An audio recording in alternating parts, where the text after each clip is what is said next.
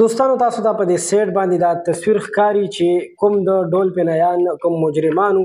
نو هغه مجرمان چې د گرفتار شول هغه ته به سخت سزا ورکول کیږي یقینا چې د سوشل میډیا پاور ډیر زیات دی او د سوشل میډیا په فاور باندې دا مجرمان دا ملزمان چې کوم دي دا زر تر زر ونیول شول داسې خبرې په سوشل میډیا باندې خوري دي او دا هم ویل کیږي چې د کوم مجرمانو یعنې په ده باندې چې چا ظلم کړی، زیاتی ورسره کړی دی، نو هغوی ته به سخته سزا ورکول کېږي. دوستانو په دې باره کې خپله ډولپینایان هم دا ویلي چې ماته دې انصاف مېلاو شي. بلکل انصاف ورته په کار دی چې د خیبر پښتونخوا حکومت او کوم چې متعلقه ادارې دي،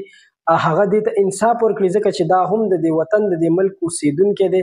او یو خواجه سرا دی خو تر کومه پورې چې د دې خبرې حقیقت دی نو داسې ویل کیږي چې پولیس خپل کوشش شروع کړی دی چې زر تر زره دغه مجرمان چې کوم دي دا ونیسي سخته سزا ورکړي خو لا تر اوسه پورې ویل کیږي چې په دې کې څه خاطر خوا کاروایی یا خاطر خوا داسې څه کامیابي نه ده حاصله شوې نو امید لرم چې زر تر زره د دې د مجرمانو نیول شي او کوم ظلم چې په ده باندې شوی دی د هغې ظلم تپوس ترې وکړی شي او بدله ترې واخیستل شي